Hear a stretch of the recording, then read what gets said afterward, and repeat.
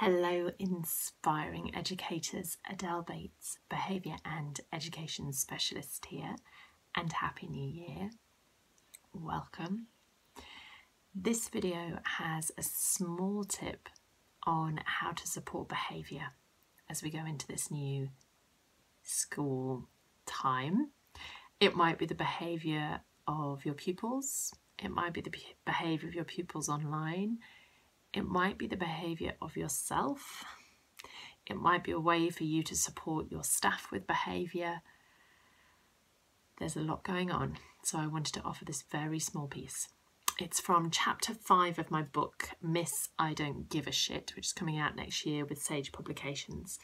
And in chapter five of that book, we talk about walking with the pupils, helping them self regulate because until they feel safe, until they feel calm, guess what? No learning is going to take place. And I feel like that's important for all of us. So, the very simple tip please do it with me now.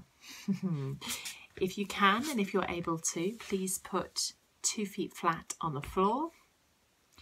Take your back as straight as you possibly can.